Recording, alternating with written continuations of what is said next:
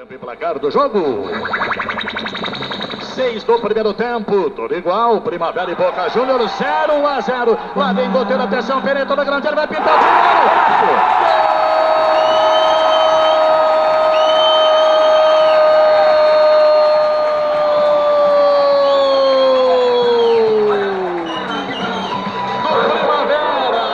Goteira 23. Falta para a equipe do Boca Júnior. Prepara-se, portanto, o Martins, número 6.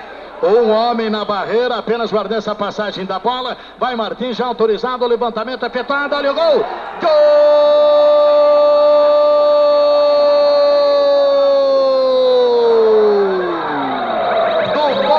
Júnior!